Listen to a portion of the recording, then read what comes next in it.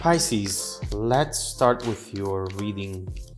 Today, we are going to look into the energies around you at the moment, and then we will take a look into the events coming up for you in the next few months.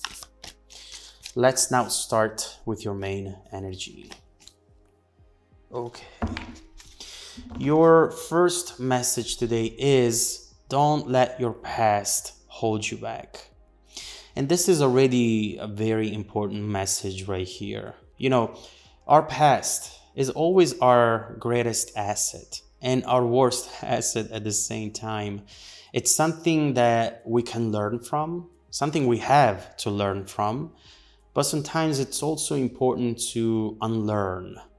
There are tools that we develop throughout the years, things we do or things we think that help us overcoming obstacles and issues. But there are moments in which we need to let go of those tools because instead of helping us and protecting us, they might have just become this very heavy baggage we carry around everywhere we go. It's almost as if you have packed all of your clothes and then you decide to bring those heavy bags everywhere you go to the grocery store, to the coffee shop. Do you really need all of that? Is that really helping you in that current environment, in that current situation? So, definitely an important message for you today, Pisces. Let's see then what this message is about. Let's do our three shuffles and let's begin with your reading.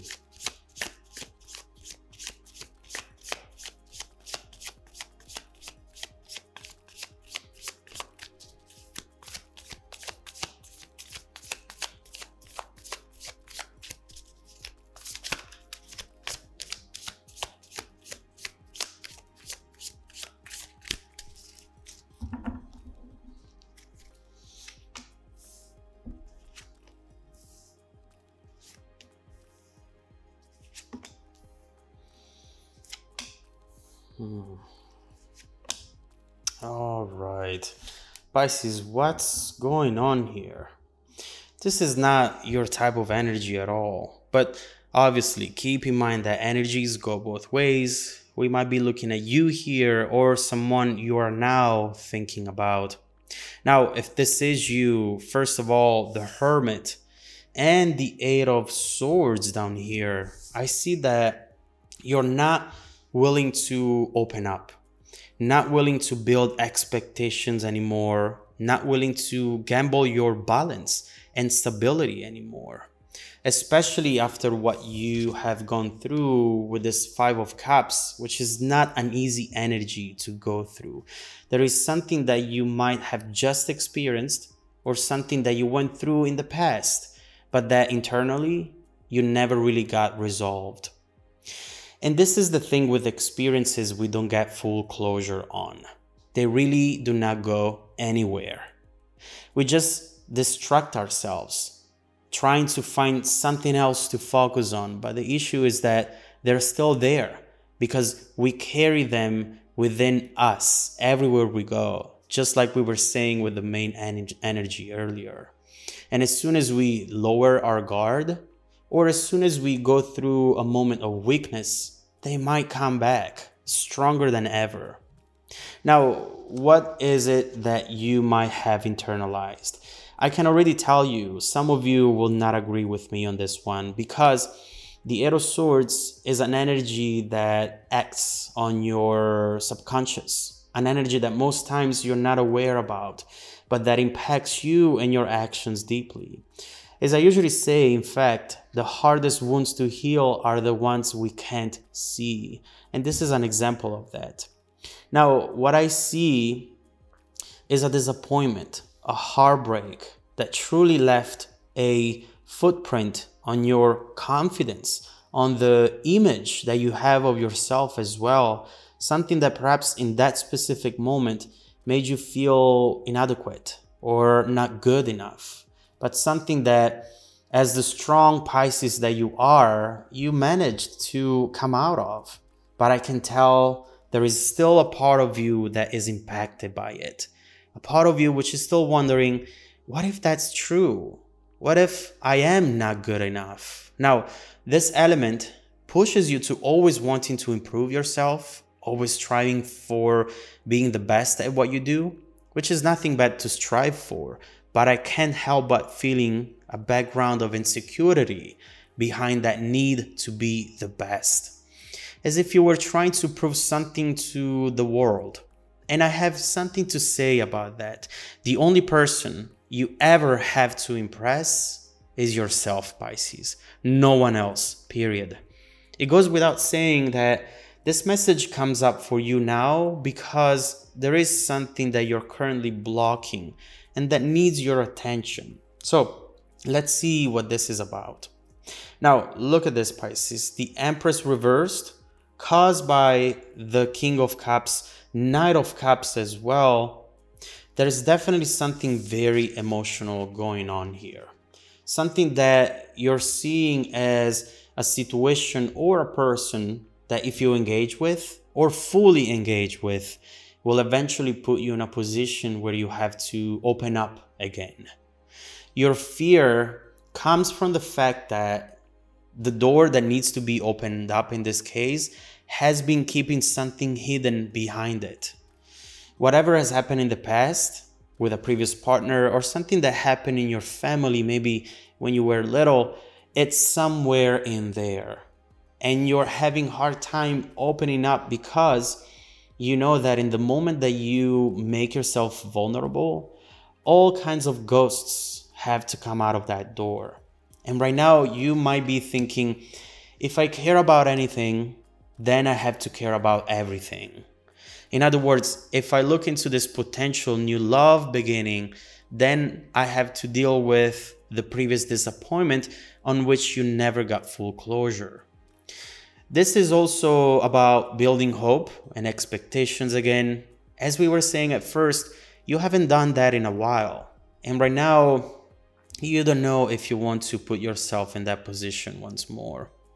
A position from which there is a lot to gain, but also a lot to lose. There is a constant second guessing here, which again, you or the person who's experiencing this energy might not even know about. But I really acts like a feedback loop, you know? It starts small, but it gets echoed and it grows exponentially with no way to stop it other than shutting everything down. And this is what you might need to do right now. Just take some time apart from this and focus on yourself. This King of Cups is someone very patient, someone who knows that it's time to detach and disconnect from everything and everyone for the time being. It's more important than you might think right now. The cards could have given you this message at any time.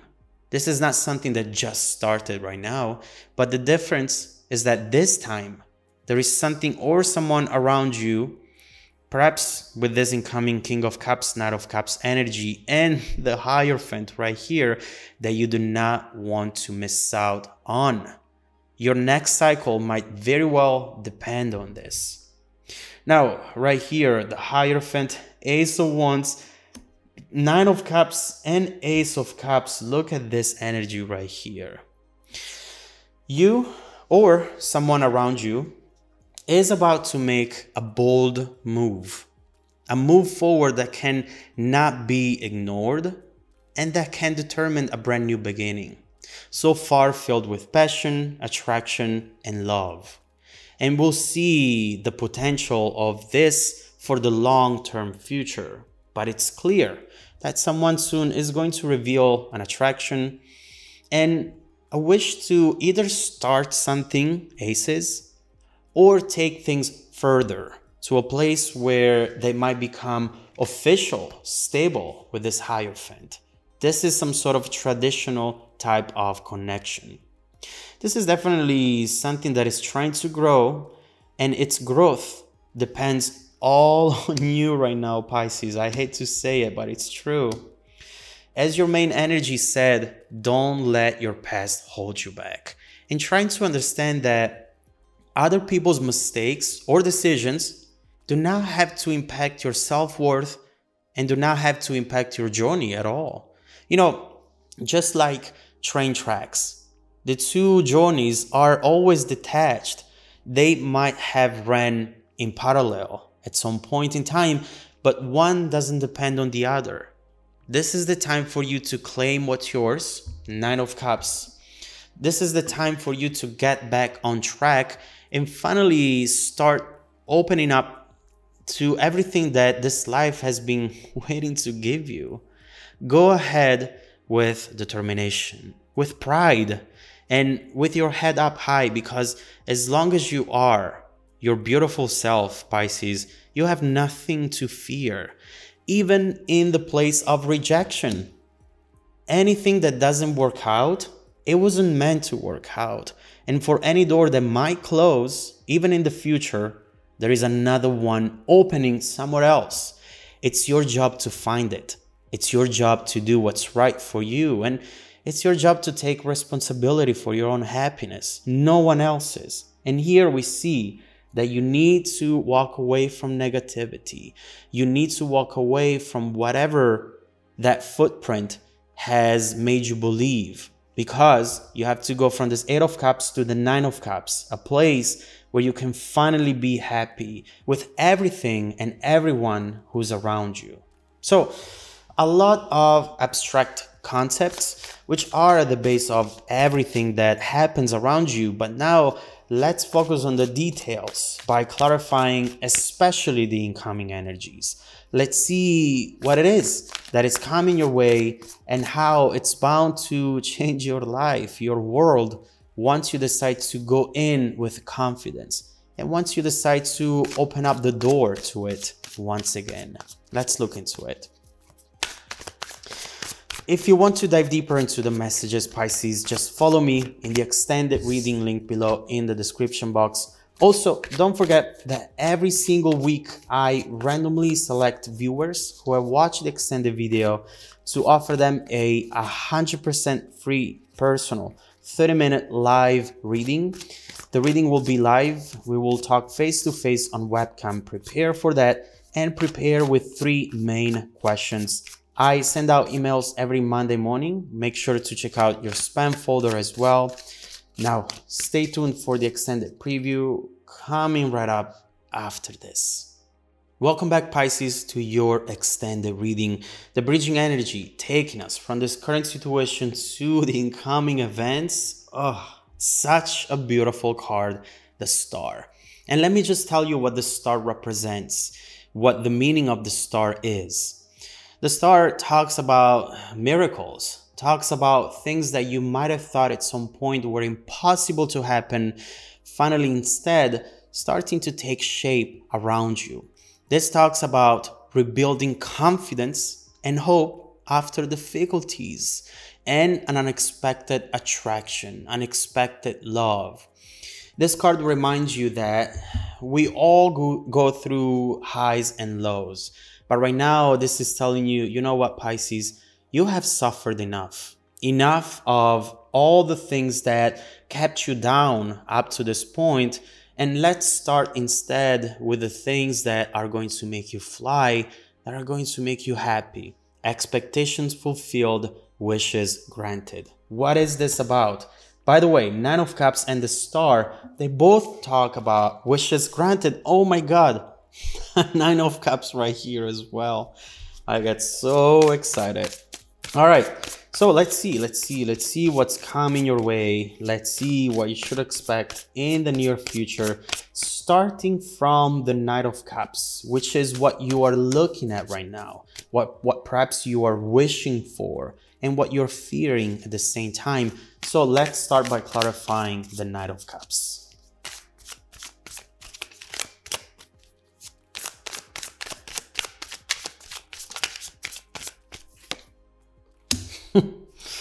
Hold on. Ten of Pentacles, Queen of Wands, Four of Wands, the High Priestess, and the Three of Pentacles. This is really, really beautiful for you. And for one specific reason, because you have...